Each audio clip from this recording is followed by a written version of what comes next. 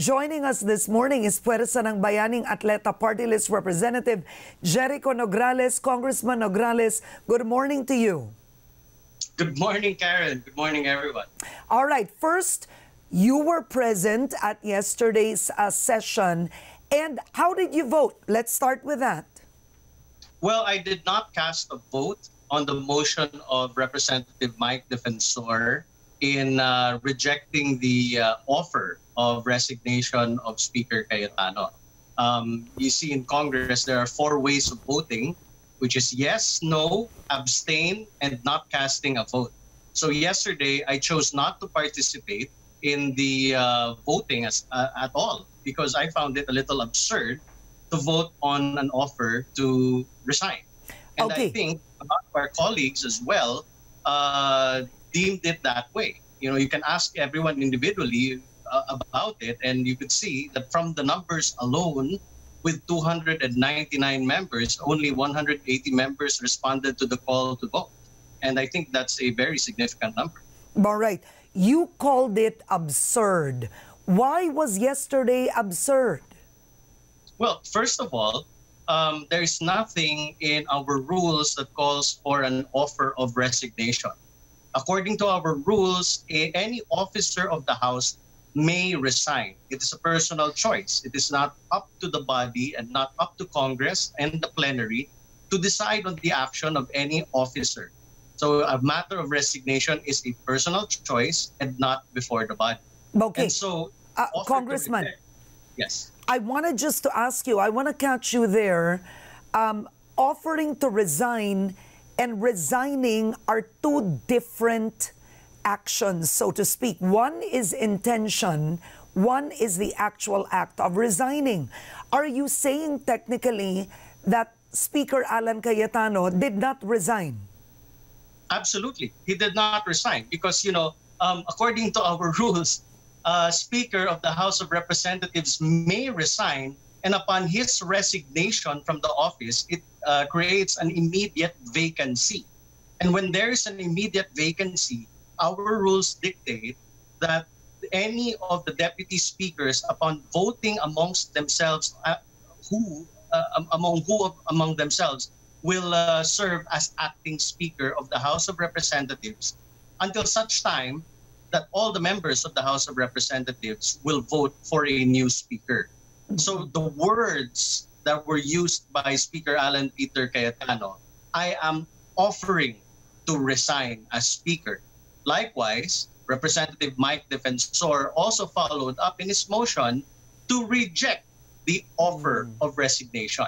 So the effect of that really is nothing in our rules. It Mm. walang walang katuturan. Ibig sabihin yung the whole thing no, na nangyari kahapon. The only effect of what happened is the suspension of the deliberations of the 2021 budget. In fact, today, October 1, we are feeling the repercussions of yesterday's action because the hearings today were also suspended. It will continue tomorrow. You know, Mm. I, I, I am set to question the uh, the the Department of Transportation budget today. However, I have to wait till tomorrow because uh, session was suspended until tomorrow, and we lose a day and a half in budget deliberations in the time of COVID. Okay, so after absurd, you've used absurd.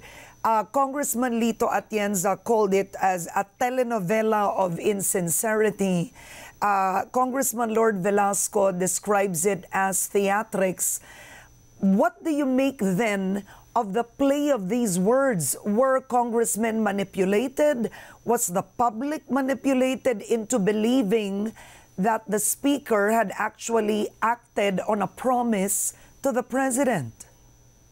Well, you know, um, setting aside all the uh, words and all the adjectives and all the personal attacks that came out of the speeches yesterday, one thing came out certain, and Speaker Cayetano confirmed the president's guidance and order that he must resign on or before October 14. I, that was very clear. Uh, and I, I believe, um, as Speaker Cayetano put it, uh, the president left it to Speaker Cayetano to announce that date. And he did so yesterday. Okay. Everything else was fluff. All right. So if everything else was fluff and it was absurd, Congressman Nograles, why didn't you why didn't you put in a motion to stop the process of votation and called for out of order? Why didn't you act on it? It's not allowed. Once voting, especially nominal voting, has commenced, you cannot. You cannot stop the voting. It's it's in our rules that you cannot interrupt voting. So uh, when when the voting already started, when the motion was placed and and it started, I just decided to walk out of the hall. It's something that I cannot, uh, in good conscience, participate and charge the taxpayers' time. This mm. was a waste of legislative time. We have so much to tackle in the budget. Even in the pre-plenary sessions of the budget, so many questions and so many members were not allowed to speak and were promised that they would have their time to speak during the plenary sessions. And and that's the problem, you know. We don't have time in our hands and the Republic of the Philippines cannot wait. You know, mm. no less than Speaker Cayetano said at the beginning of his speech yesterday that he intends he he initially intended to speak before Facebook. He wanted to go on Facebook Live. I think he should have followed his first gut feel, I suppose. He should have followed that rather than charge it to taxpayers' time. You know, the plenary in Congress is not uh, is is not a a or a privilege. uh, It's not to announce to the public or not to announce to the president. Correct that it is a matter of uh, personal and collective privilege, but such privilege should not be abused. Yesterday was an abuse of privilege. That's- Okay. it's it's it's sad. Okay. Now, Section 13 of House Rules uh, clearly states that if the Speaker resigns, uh, the deputy speakers elect among themselves an acting speaker. Is that That's correct? correct. That's All right. correct. Uh, Now, what- words are in case of resignation? Yeah, in case of resignation or permanent incapacity of the speaker, an acting speaker uh, chosen by a majority of the deputy speakers from among themselves. So that's uh, the current rules of Congress. Yeah. And how would you define resignation? I mean, we're only resignation- talking about in the House, ah. Uh, because I want words to be clear. Because clearly, after yesterday's um, event, uh, you have news articles that say Speaker Cayetano resigns. When now, when we look at has to be each word, he did not resign, he offered to resign. Yep. So I'm quoting directly. It's an offer to resign. There's a difference between I resign and I offer to resign. That's that's a huge difference. I I don't think I need to define that. It's common sense. Mm-hmm. Mm-hmm. Now, It's after this, overacting. Oh, oh, clearly, yesterday was a preview of sorts to show the support behind Speaker Cayetano. Does this mean that the October 14 term sharing agreement is over? Well, because one on can argue, the camp of Cayetano can argue, there was already a vote. They want, a majority of the congressmen want him to stay. Well, it depends on perspective. I mean, if you ask Congressman Lito Atienza, he did say that he does uh, reject the resignation of Speaker Cayetano because the uh, the the the deal was or the uh, agreement was October 14. And of the 180 plus congressmen who voted yes to that, you know, if you ask them individually, they might echo what uh, Congressman uh, Atienza mentioned. You could also look at the Makabayan bloc. They said, "Oh, we don't participate in that. It's it's it's it's nonsensical, I suppose." Okay. As well as myself, you know, I, I can talk about my vote. I can't talk about the other person's vote, but I suspect that a lot of people uh, voted that way mainly because they support the President of the Republic of the Philippines as the political leader of the super coalition composed of multiple political parties and other coalitions. So, Congressman Jericho, what will happen on October 14? Uh, well, I would suppose that uh, the resignation of Speaker Cayetano should push through. Otherwise, if Speaker Cayetano does defy the president as political leader, simply put, ang gulo nito. What if he doesn't resign? What if Speaker Cayetano argues, I offered to resign, but 189 of my colleagues, I have no control over congressmen, and they refused for they refused my resignation. So what if Well, he doesn't case- resign on October 14? Give me the scenarios. If the speaker doesn't resign on October 14, how could Congressman Lord Velasco take over as speaker? Well, in that case, then uh, we have to look at how the congressman will react on whether or not Speaker Cayetano was able to rally members of Congress to go against the president's wishes. There's no other way of looking at it. The president wishes that the 1521 agreement that was great, that was um, a tripartite agreement, by the way, because that was between Speaker Alan Peter Cayetano, Congressman Lord Velasco, and uh, Majority Leader Ferdinand Martin Romualdez uh, agreed on the 1521. And this was brokered by the President of the Republic. If they go against the wishes of the President, then that's a very, very, very bad sign. Okay, other than ang gulo nito, it will be a very bad sign. Technically speaking, would Congressman Lord then have to launch a coup? um, does he really need to launch a coup? That's that's uh, speculation at this point, because at because I see that members of Congress would want to uh, have peace in the house, like any other household. You know, there's may usapan eh.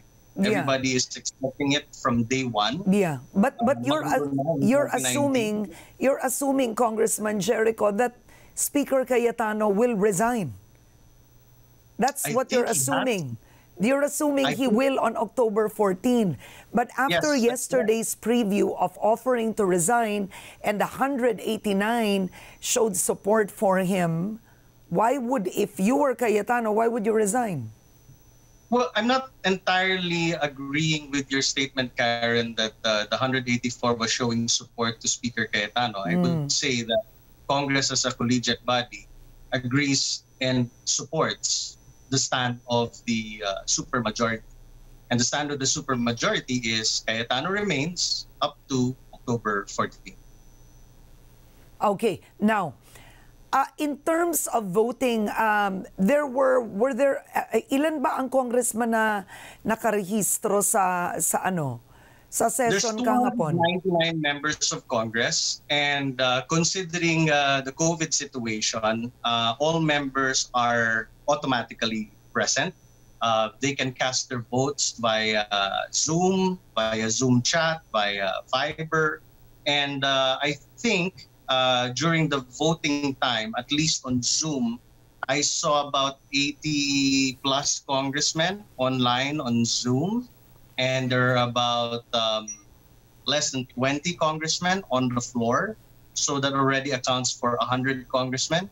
And I think on Viber, uh, on our private thread, I, I'm not so sure how many casted their votes there. I would, um, uh, based on scrolling, I don't think it reached even 40 congressmen. So uh, with 184, 185 congressmen in support of or, or rejecting the offer of uh, Speaker Alan Peter Cayetano to resign.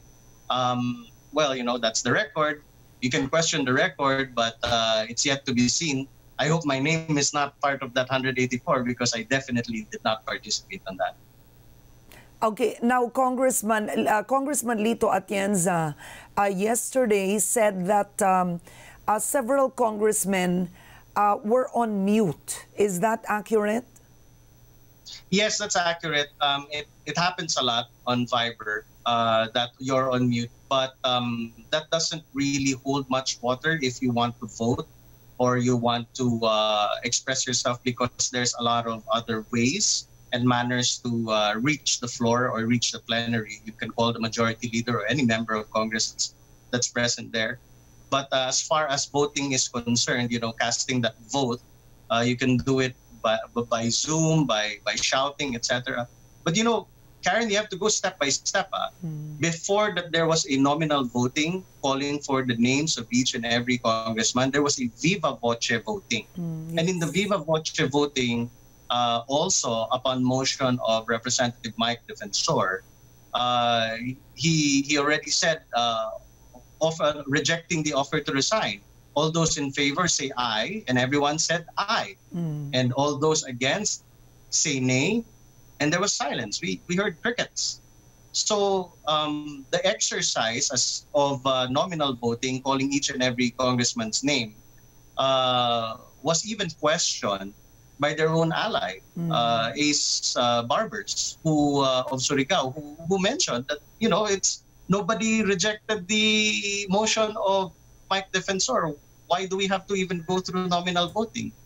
And then eventually there, there was a recess in Congress, and uh, the chair, uh, Deputy Speaker Ranie Abu, ruled that okay, let's let's do the nominal voting anyway. So again, you know, it's it's was a, it was really a waste of time and taxpayers' money. No, but clearly there was uh, some strategy to it. Why do you think did they pursue the nominal voting? Because now you can quote a number of those in support for him to uh, not resign. You understand? exactly so what's the pointing out, strategy for that? No, exactly as you're pointing out, Karen, that uh, they wanted to create this whole drama that uh, he has the numbers. But you know, truth be told, Congress is a collegiate body. We we we are a political body, and and we want to serve the nation. We want to support the administration, and the leader of this administration is President Rodrigo Roa Duterte. So um, Congress is not a rubber stamp. We can share the same principles, um, and we each have our own um, uh, talents and abilities in in in lawmaking. And uh, the bottom line here is that uh, we follow our political leader for the peace of Congress. And I think peace was brokered in July 2019, and peace was sustained on September 29, 2020 and then it was disrupted by a silly speech on the floor that it's his privilege, but I think it was an abuse of privilege. He could have done it on Facebook. Why waste taxpayers' time? Okay. Now, uh, Speaker Cayetano yesterday in his speech said uh, he told the president he would resign, but uh, Congressman Velasco still has to have the numbers. So the question now is Does Velasco have the numbers, or is that That- necessary? Time. That would be perspective at this time. So we are expecting, as a supermajority of coalitions and political parties, that the president, as the head of that super coalition, that the agreements will be met on October 14th. So whatever votes that Velasco will get, um, I don't know. You know, it's it's if if uh, Cayetano challenges Velasco, if Velasco challenges Cayetano, if it's gonna go down to boxing, then I would call that probably round 12. Kasi kahapon siguro round 8 kahapon.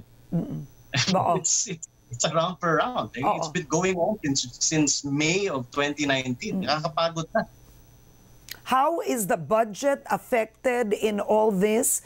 Congressman Eric Yap told me in an interview that the goal was to actually pass the budget by October 14. Do you believe that you can reach that target?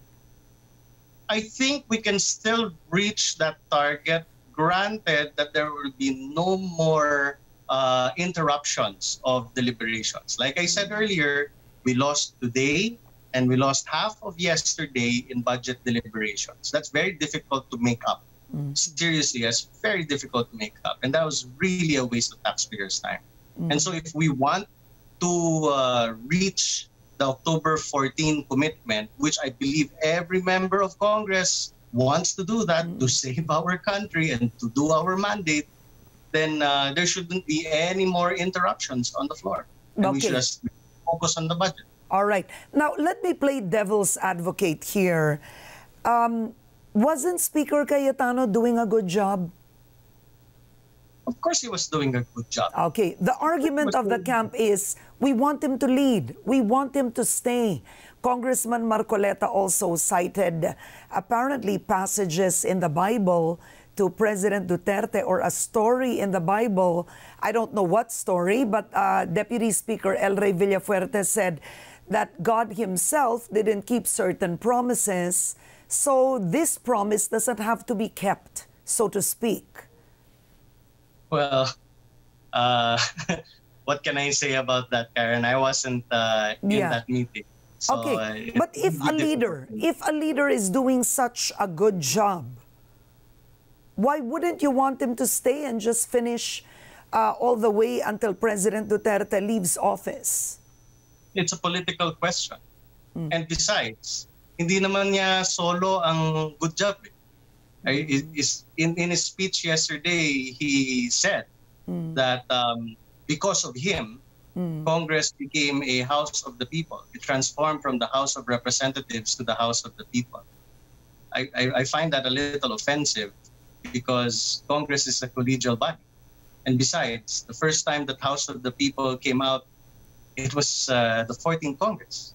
The House of the People, the Congress transforming into the House of the People happened in February of 2008 Okay. and he's claiming that that's him. And you know, in February 2008, he was a, I think he was a senator. So uh, how how could he claim that? So again, uh, everything that I got from his speech yesterday, the only thing that mattered is that he confirmed that his he agreed to with the president, with the majority leader, and with Lord Alan Velasco that October 14 he will step down. Okay. That's the long and short. On that note, Congressman Jericho Nograles, thank you so much for your time this morning. Thank you, sir. Thank you, Karen.